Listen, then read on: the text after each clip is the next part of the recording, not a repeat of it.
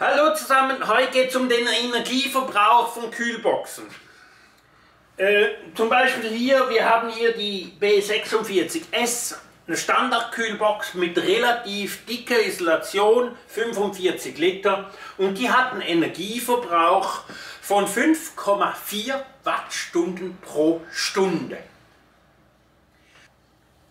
Wir lassen den Betrag mal stehen und ich habe hier die Söndenser Preislich ist sie ein bisschen teurer, ist aber auch mit 165 Liter massiv größer. Und diese Kühlbox hat eine Isolation von 11 cm. Und der Energieverbrauch liegt hier, obwohl sie ziemlich größer ist, nur bei 3,2 Wattstunden pro Stunde. Das ist bei beiden Boxen gerechnet bei 5 Grad innen und 25 Grad außen. Wie die Außentemperatur höher, dann ändert sich das dann. Seht ihr aber bei uns auf den Datenblättern, hier zum Beispiel bei 5 Grad innen, 32 Grad außen, braucht sie bereits 12 Watt. Wir haben dann hier zum Beispiel unsere Box, die Y 45 px, die hat einen Energieverbrauch von 9,2 Wattstunden pro Stunde. Fast das Doppelt wie die hier. Sie ist gleich groß, aber äh, sie hat die schlechtere Isolation. Und diese Box hier, die hat aber nur 28 Liter und die hat einen Energieverbrauch von 7,6 Wattstunden. Was heißt jetzt das? Diese Box hier braucht 3,2 Wattstunden. Ich habe zum Beispiel solch eine Batterie, eine Lithium-Batterie 100 Ampere, die hat eine Kapazität von 1280 Watt. Die kann ich eigentlich auch nützen. Wenn ich die 1280 Watt durch den Stromverbrauch von dieser Box teile, also 3,8 Watt, ich meine 3,2 Watt, dann sind das rund 400 Stunden. Wir wissen, ein Tag hat äh, ein Tag hat 24 Stunden, das sind dann 16 Tage, das sind gute zwei Wochen, die so eine Truhe läuft mit so einer Batterie.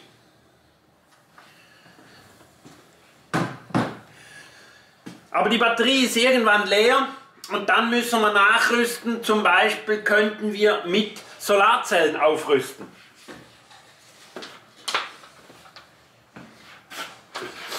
Mit solch einem 100 Watt Panel bringe ich im Sommer Faktor 4 rein, je nachdem wo es hängt und so weiter.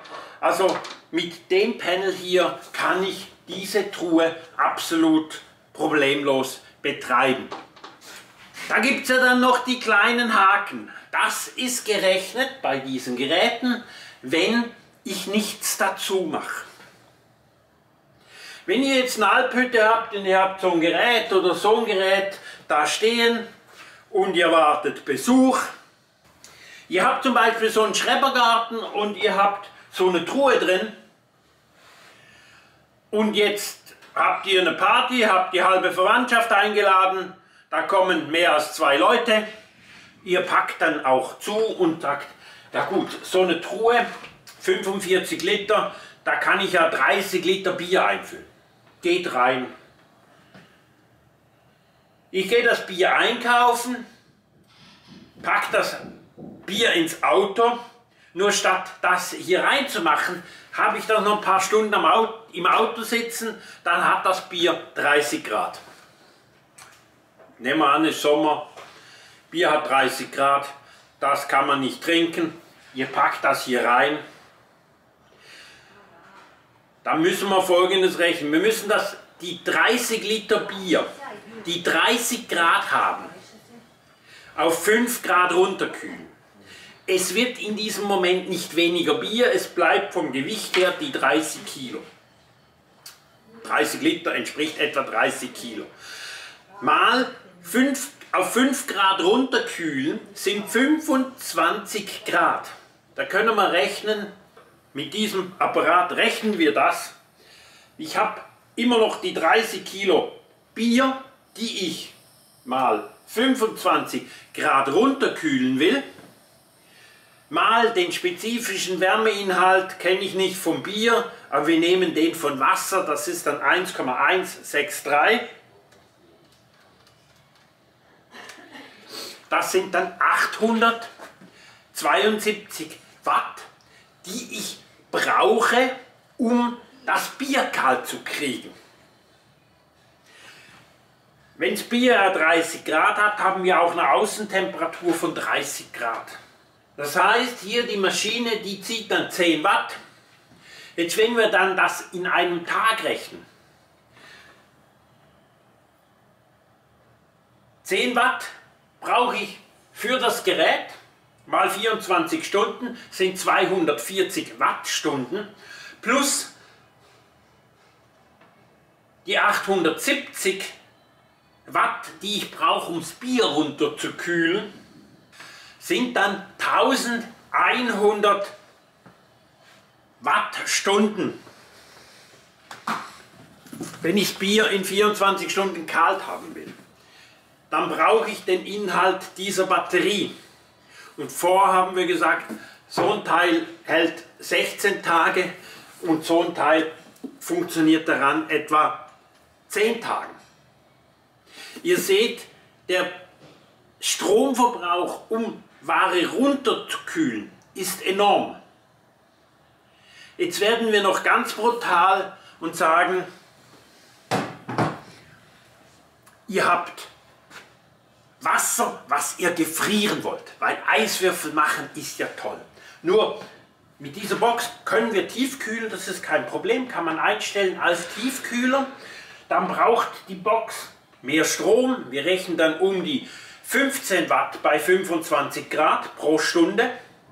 Aber jetzt schmeißt ihr hier 2 Kilo Wasser rein. Also 2 Liter Wasser und die wollt ihr durchfrieren. Das Wasser hat eine Temperatur von 20 Grad. Das heißt, wir müssen das von 20 Grad runterkühlen auf 0 Grad. Das ist die sogenannte sensible Temperatur müssen wir also rechnen, die 2 Kilo Wasser mal die 20 Grad mal die 1,163. 2 Kilo mal die 1,163 gleich. Das sind das 46 Watt, die wir zusätzlich brauchen zur Box, um die 2 Kilo Wasser runterzukühlen. Auf 0 Grad.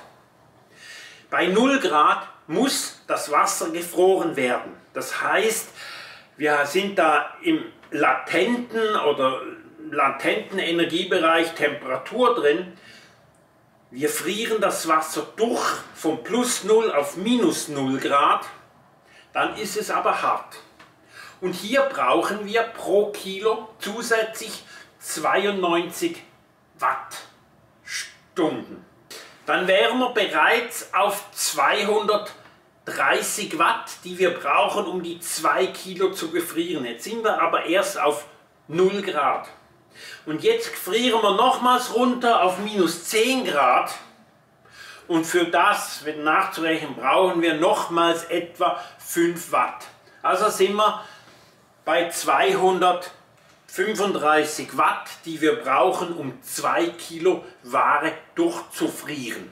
Die Kühlmaschine hier, die hat eine Kälteleistung von rund 30 Watt bei diesen Temperaturen. Wenn wir also diese 230 Watt durch die 30 Watt Kälteleistung rechnen, brauchen wir knappe 8 Stunden, bis wir die 2 Kilo runtergekühlt haben oder durchgefroren haben. Also geschwind reinlegen, warten, könnt ihr vergessen. Geht nicht. Wenn ihr jetzt aber fischen geht, da habe ich mal ein Video gemacht hier zu Fischen, äh, da fangt ihr so Fische, so kleine, mit so Augenabstand. Und die wollte durchfrieren, dann braucht ihr einfach Energie. Wir haben Kunden, die haben solche Truhen hier als Tiefkühler im Wohnmobil drin, in der Heckgarage. Die gehen dann fischen nach Norwegen fischen den, filetieren den, dann gibt es mal die Hälfte Gewicht und die Filets werden durchgefroren. Wenn da oben ein Campingplatz ist, ist das absolut kein Problem, da ist Strom da. In Norwegen habt ihr auch nicht so viel Solar oder sie lassen Generator laufen oder die Hauptmaschine und der Strom kommt rein. Und dann fahren sie mit der Truhe hier her. Äh, ob sie es dann verzollen oder nicht, weiß ich nicht, aber das ist kein Problem die Kälte wird hier oder die Tiefkühlung wird hier gehalten, um ihren frisch gefangenen Lachs nach Hause zu karren. Wenn ihr Fragen habt zu der Kälteleistung, Kälteleistung ist immer auch so ein Thema, wir haben große Kühlcontainer, da will dann einer 300 Kilo Erdbeeren einfrieren im Tag. Das braucht Leistung. Wenn ihr dazu Fragen habt, Fragt sie unten in die Kommentare, verlinke ich euch vielleicht ein Video, was ich schon mal gemacht habe. Oder ich erzähle es euch. Oder wenn ihr ein Projekt habt, was ihr irgendwas einfrieren wollt, meldet euch bei mir unten in der Kommentare oder übers Mail, findet ihr ein Produktebeschriebe.